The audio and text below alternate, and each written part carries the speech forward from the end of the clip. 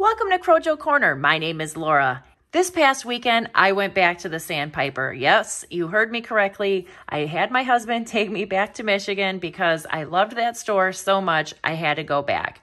So the reason behind this really is, is my shoulder is still kind of aggravating me a little bit if I crochet too much. So I think I'm just going to kind of lay low with that just for a little bit longer and let the inflammation go down because now my left shoulder is starting to bother me and my right one is getting better, but I don't want to aggravate things. So I purchased a wooden frame loom a while back and I hadn't really used it or tried anything with it. But then I was thinking it might be pretty fun to try and make some wall hangings with it. So I started watching a bunch of videos on YouTube and I started making a wall hanging and I will show you what that looks like right here. And then I will be back to show you what I got from the Sandpiper.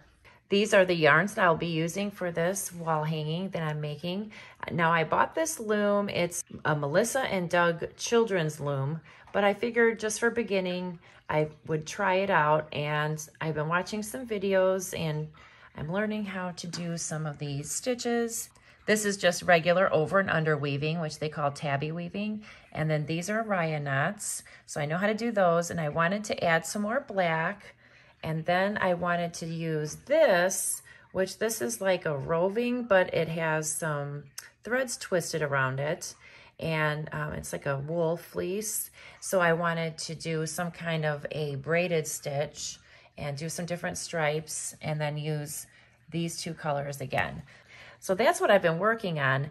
This is pretty much just practicing and getting familiar with the different techniques, but I bought some things this weekend and I wanted to show you what I got and show you what I have put together for my next wall hanging. So let's check it out. So here are some of the fibers that I will be using on my next wall hanging. Now, you may remember I was at the Sandpiper last weekend and um, they gave me a tour of Hoof to Hanger. And I'll go ahead and link a video to that up above. But this is um, some of the yarn that I got when I was at my trip last weekend. And I really liked the way all the different textures of these yarns looked together and they all matched this. This was my inspiration.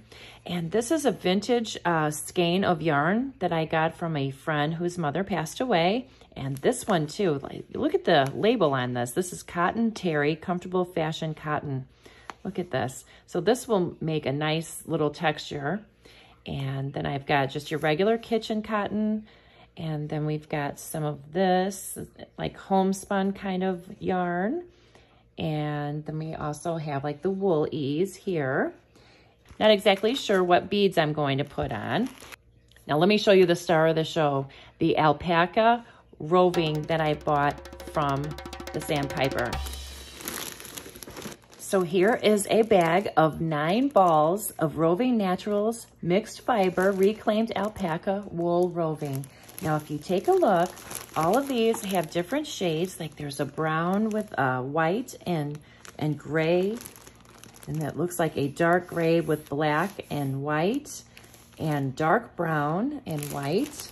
These are just absolutely gorgeous. And I will also link Hoof to Hanger and the Sandpiper down below. They do have an online store if you're interested in getting any wool roving, if you like to spin your own yarns. They have uh, painted roving and they have a huge selection of just beautiful hand spun yarns. I do give you a whole tour of the yarn processing mill in that video, so I'll go ahead and make sure that that's linked as well. So let me open up this bag and let you see exactly how beautiful this really is. Oh, it's so soft. This roving is so gorgeous. So when you do a weaving project, you just rip off little bits and pieces of this and then you just fit it into your project and it makes it real soft and fluffy. And this is just so gorgeous. Oh, I could just squeeze it. I love it so much. And I love that there's so many different colors. You could really match these with any palette. Isn't this gorgeous? They do have a nice selection of these naturals, and they also have a lot of beautiful painted ones that are just so pretty and colorful. When I was there yesterday, Anna showed me a whole skein of the painted alpaca roving, and then she showed me what it looked like once it was spun up into yarn. And the difference it, I mean, it, they looked completely different, of course, but it's so neat to see it go from one form to another form. It's just very interesting. If you ever get a chance to go there, just make sure you check it out in Bridgman, Michigan. And let me just show you one more of these little balls. Isn't this gorgeous? Look at the different tones of brown and then the white. And it's so soft. I bet you if my cat Wendy saw this, she would go crazy. I should make her a little cat toy with one and see what she does.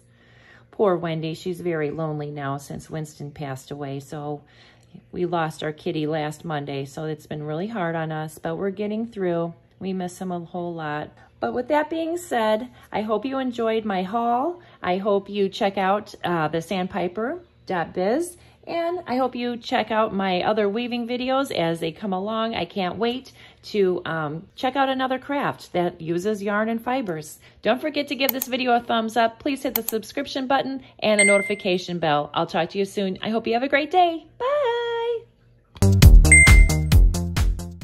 Check it out. I have a new Patreon tier for only $2 a month. Go to patreon.com slash Crojo Corner. If you have trouble sleeping, check out my new channel, Soul Candy Cafe, rain sounds and meditation music to help you sleep.